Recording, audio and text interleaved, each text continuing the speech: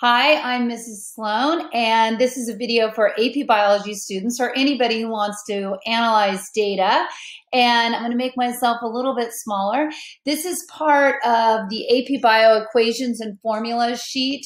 And um, I am making a series of videos working through each of these equations so that my students feel comfortable um, using them on the exam.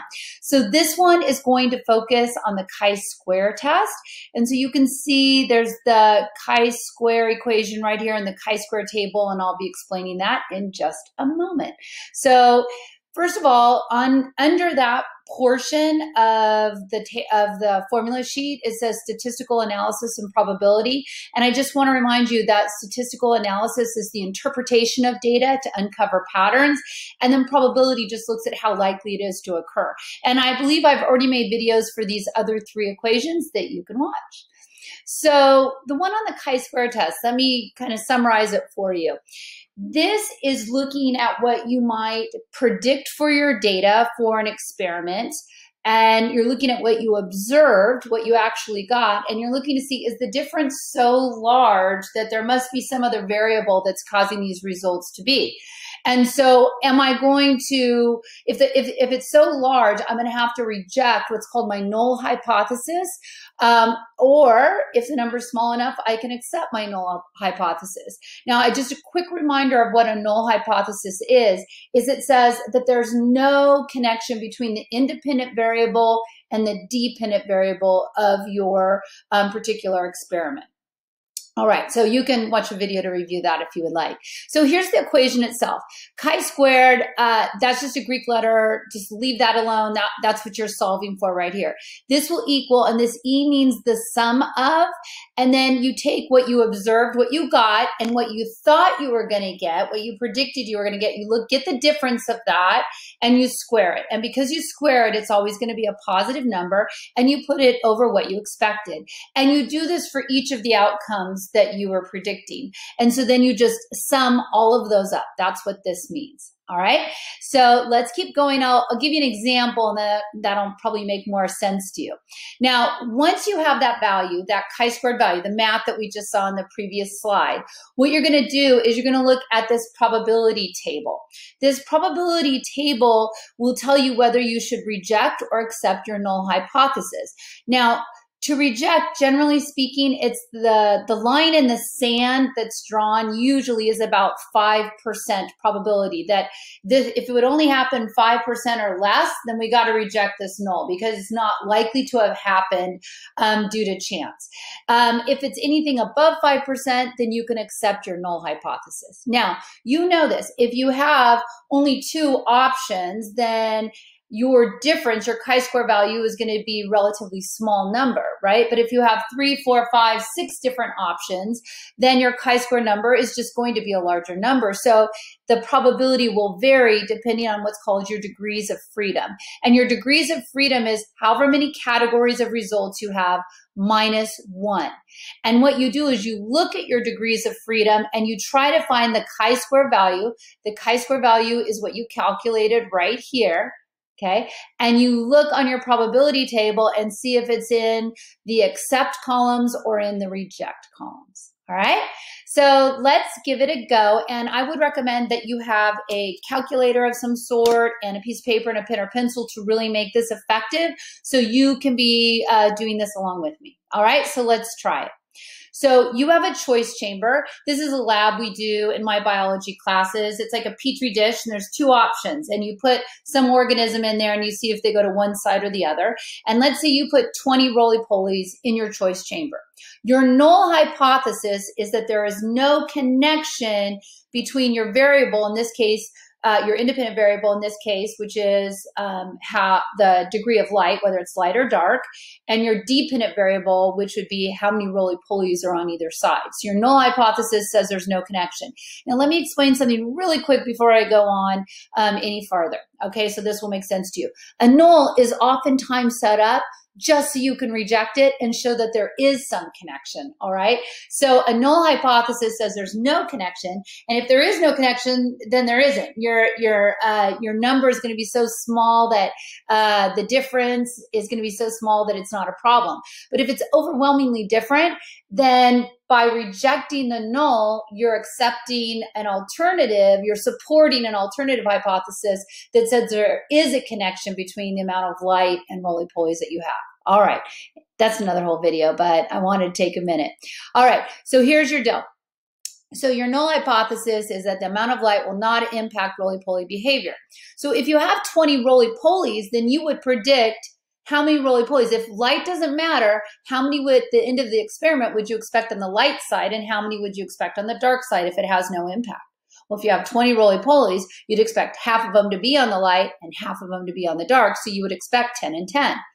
But the results that you got um, after 10 minutes is that there are actually, I changed this. Let me change this. So sorry, I forgot to change it here. Eh, ah, ah, here we go. After 10 minutes, you found that there were only four roly-polies on the light side. And so you're assuming, because you can see that there are four there, there must be 16, right, that are on the dark side. And you're wondering, is this statistically significant, this difference? Because I expected 10 and 10, but I got 4 and 16. So you would use a table like this um, to quickly calculate your chi-square value. So if you want to, pause right now and see if you can do that, and then I'll help you through it. So pause. Okay, so here we go. So the first thing I would do is I would put what I expected down here. So if I had 20 roly-polies and light doesn't affect it, I'd expect 10 and 10 for a total of 20, right? And then you put what you observed, which was 4 and then 16, which also equals 20, right? You take the difference and you square it, put it over what you expected, and you add those two numbers up. Okay, so now pause again if you want to try to do it before I show you the answer. All right, let's take a look. So I observed 4, I expected 10, so I take 4 minus 10, and because I squared, it's still a positive number. I divide it by what I expected, and I got the value of 3.6, just for the light, okay, just for the light. But I need to do the dark as well. So there would be 16 on the dark side, 16 minus 10, take that value, square it, put it over 10, and it's 3.6. Now I'm gonna tell you, when you only have two choices, those two numbers are gonna be the same unless like you're expecting odds of three to one or something like that in a Punnett square. All right. So, but if the expect if the expected number is the same, then these two numbers are going to be the same as well because they're going to be off by the same amount. But that only works when you have two choices, right? So you're going to add those two values up, 3.6 and 3.6, and you get 7.2. All right, that is your chi-squared value. Is that chi-squared value significant? Well, so now we need to do degrees of freedom. And your degrees of freedom, and I'm going to pop you right back here. Your degrees of freedom is always the number of categories minus one. So how many categories did we have? We had two. We had light and dark, right? Those were our two categories. Minus one means I have one degree of freedom. So let's go look at our table okay, with one degree of freedom, and I'm looking for the number 7.2. Okay, I'm looking, I'm looking, I'm looking. Oh my gosh, it's way over here in the reject zone, right? One, if I had a 1% chance of getting a number like that, my number would have been 6.64. And this number is even bigger, so it's less of a chance, right? Less of a chance because the bigger your chi-square number is, the smaller the probability is that you're going to get it. It's inversely related, right? So it's because remember, you're taking your difference from what you observed minus what you expected squared and putting over what you expected. So if that number is really big, that means you are off by a lot and you are more likely to reject your null hypothesis. Now, on the College Board chi-square table, this is all they do. Can you figure out what they did different? They just flip flopped probability with degrees of freedom.